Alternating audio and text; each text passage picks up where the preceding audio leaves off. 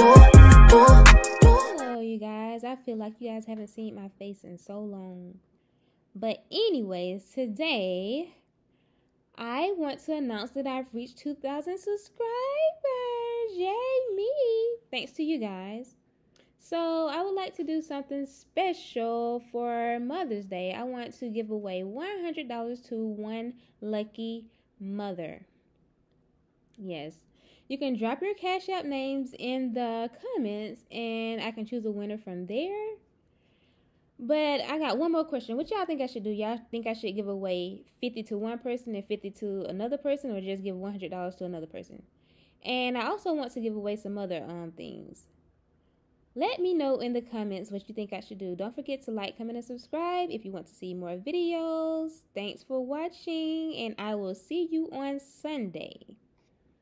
Bye bye.